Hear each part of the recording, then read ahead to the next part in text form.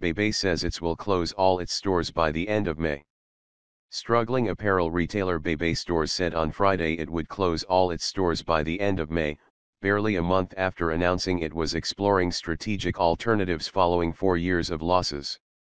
The company, which had 180 stores at the end of 2016, also plans to liquidate all merchandise and fixtures within the stores, it said in a regulatory filing. Shares of the company hit a 14-month low of $3.02 in morning trading. Bloomberg reported last month that Bebe was planning to shut stores and seek a turnaround as an online brand to avoid filing for bankruptcy. A number of apparel retailers have gone bankrupt in the last couple of years, including Aeropostale and The Limited, due to lackluster demand as they battle stiff competition from Amazon. Commink and fast fashion retailers such as H&M and Zara.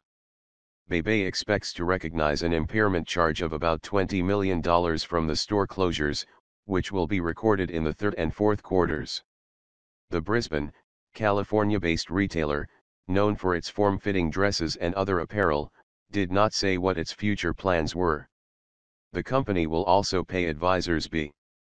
Riley and CO and Tiger Capital Group LLC $550,000 and 15% of the gross proceeds from the sale of store fixtures.